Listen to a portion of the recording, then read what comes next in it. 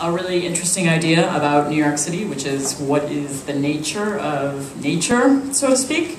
And um, to that end, we have Eric Sanderson, who is the Senior Conservation Ecologist at uh, the Wildlife Conservation Society, um, who's going to sort of speak a little bit more about this idea of nature and history and what it means to kind of our, our broader uh, urban, urban fabric. Um, he formerly was working on the Mannahatta Project, um, which explored the history of, uh, of nature and ecology in um, Manhattan, and now he's working on the five boroughs in the Welikia project. Uh, so uh, come up and uh, let us know what you got.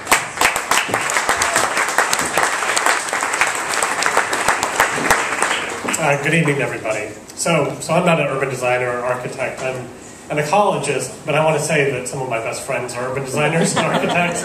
And uh, because you're so creative, and, and I, I feel so lucky to live here in New York City where we have such dedicated public servants. But I want to challenge you. In fact, I want to dare you to think about this place as a natural place, as an ecological place, and not Grace's presentation is perfect, but not just the parks, but everywhere. I'd like to show you what it looked like uh, 400 years, 402 years ago today. Today's Mannahatta Day um, what it looked like to Henry Hudson when he sailed into Manhattan, when he sailed into New York Harbor and saw Mannahatta, the island of many hills. Um, and I think you know you need to sear this image into your mind and think about it every time you go to work, everything you do, and these images that follow, hopefully. Images that follow. yeah, don't sear this one into your minds. Here we go. So, so when we think about ecology, we have to think at, at big scales. We have to think of the whole city. We have to think of the island as a place that, that's on the edge of a continent, that's part of the Hudson River Canyon, that's part of the. Whoops. Is it disappearing for you too? I don't know what's going on back there. Oh, that it's a place that had ecosystems. I don't know if you can tell, but there's 15 different ecosystems in this picture. Uh, home to over uh, a thousand different species, plants and animals, one of which was people. And what we try and do through ecology is show the connections between these things, between the land and the disturbance uh, factors, between the ecosystems and all the species that live in those ecosystems. Um, the build-up over time, oops, sorry, I guess I didn't take away the animations, uh, that, that come to the 55 different ecosystem types that once lived on Manhattan or within a thousand meters of its shoreline. And that together that these form what we call a Muir web or an ecosystem web, where each point on this diagram is a different plant or different animal, and each gray line represents a habitat connection, a, a soil or water or, or shelter connection between those species and everything else in the Muir web. And if it, you zoom out, as I hope it will in a minute, you'll see that all these connections create um, create a, a, cluster and a network of which there's one dot. Do you see that red dot? That's the human being dot, right? I mean, we, we spend all our times thinking we're, we're the center of the world and we live in these great social networks and these economic things that, that are all inside that little dot that you can barely see on the diagram. And we ignore so much of the rest of the world, all the, all the lives of all these other creatures and all the connections between them.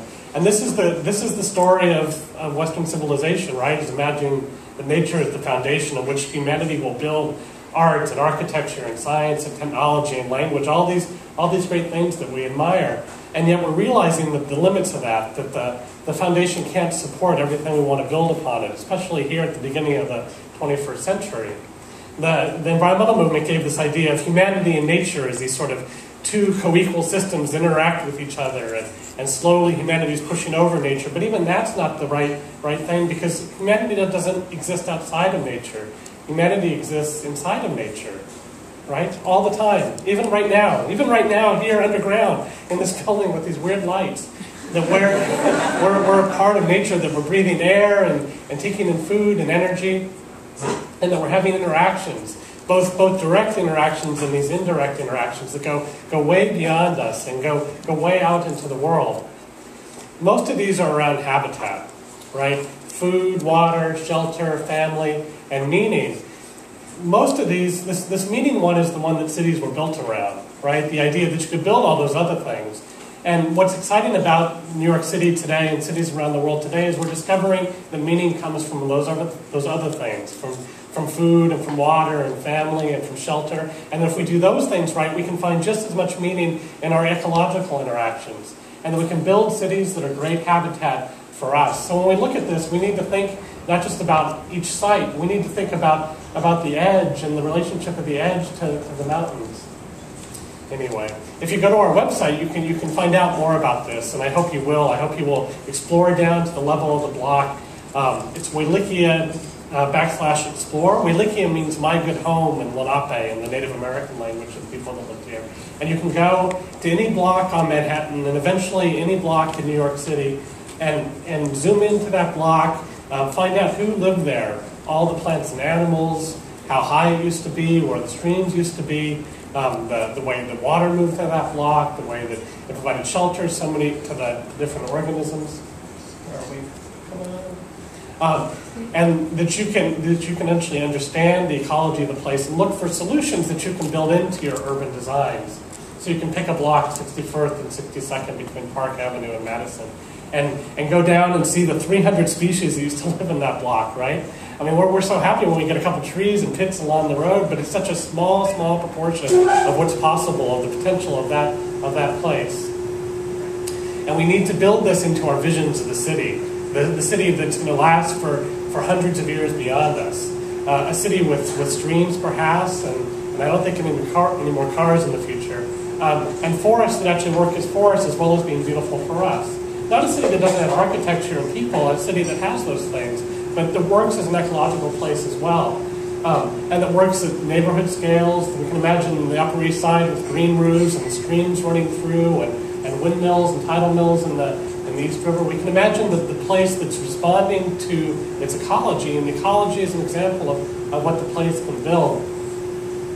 Um, and this isn't true just in the city, but in fact for our whole region, for our whole country um, to try and imagine a world that has just as many people in it, but living in, in uh, dense, unique, transit-oriented, uh, great cities, but ones that also allow agriculture and wild areas and, and, and working waterways right beside us, um, all around us, and that will be the kind of enduring landscape that lasts for as long as, as we want to live there.